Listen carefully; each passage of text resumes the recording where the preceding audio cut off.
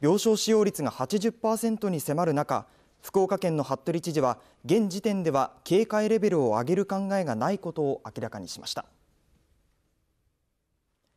昨日時点の病床使用率は79%で医療逼迫防止対策宣言の目安とされる50%を超え医療非常事態宣言の目安80%に迫っています。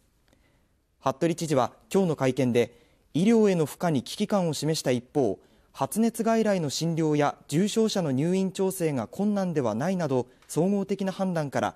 現在出されている福岡オミクロン警報を超える宣言は出さない意向を示しました。一方でコロナ陽性者の死亡はこれまででピークに。県内では年始の1週間で152人が亡くなり第7波の114人を上回りました。今日は過去最多となる45人が亡くなっています。亡くなられた方の98%が60歳以上の方でいらっしゃいまして、まあ、その大半の方がですねあのお亡くなりった要因がコロナによる呼吸器症状の悪化ではなく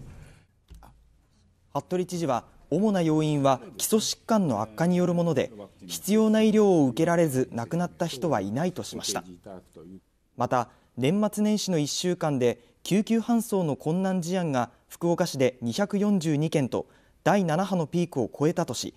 多くは入院不要の軽症者救急車を呼ぶか迷うときは受診相談センターなどに電話してほしいと呼びかけました。